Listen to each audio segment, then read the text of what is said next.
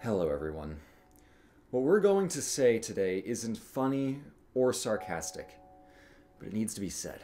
We've made a number of lapses in judgment over the past few years, and we owe you some apologies. There's no justifying what we've done, but we hope that in time you might be willing to forgive us, and maybe even give us another chance. I'm sorry for not being overly sarcastic. At best, I've only been moderately sarcastic, and at worst, I've been downright sincere. And I'm sorry. I'm sorry I've summarized Greece and Rome so much that it goes beyond summary and enters into the realm of synopsis. Our channel is supposed to be summaries, and I've betrayed that. I'm sorry my trope talks aren't actually talks. They're not even dialogues, they're monologues. Who likes monologues?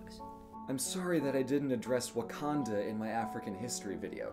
It's been a crazy couple months for anthropologists everywhere. I'm sorry for mistranslating that ancient Egyptian curse and accidentally getting 15 archaeologists killed. On the plus side, I got this nifty necklace out of it. On the downside, I'm pretty sure if I ever take it off, I might get eaten by a mummy. I'm sorry we promised you a Let's Play channel when all we ever do is talk about boring books and dead dudes. I'm sorry for setting my voicemail message to a pastor from the Necronomicon.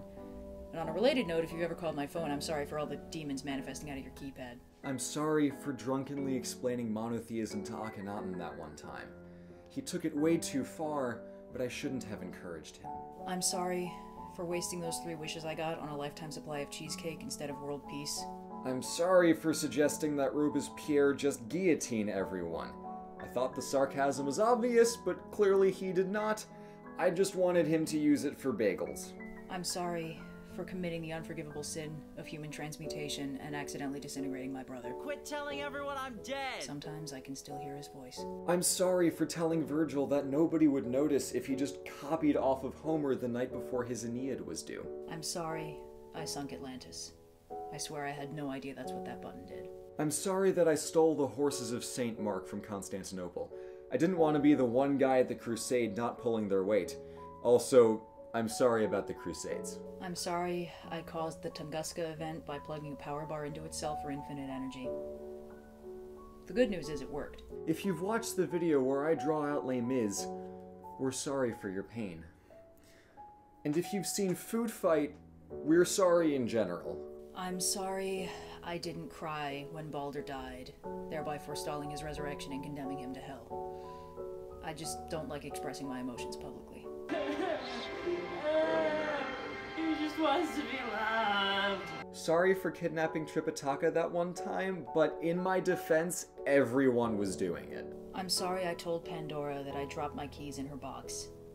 I thought it was hilarious at the time, but in hindsight, not my proudest moment. I'm sorry that I invented a time machine, went back to steal the Library of Alexandria, shrink it down Brainiac style, and put it in a bottle, and then burn the foundations to cover my tracks. I'm sorry. I, w- wait, what did you do? Oh, uh, well, you see. You what?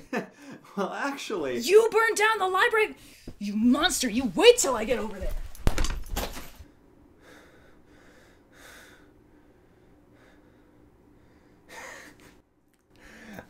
I don't know what I was worried about. She's hundreds of miles away. There you are, you oh. barbarian! Oh. Bye.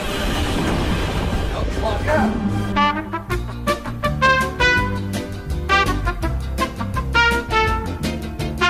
Went back to steal the Alexandria Library.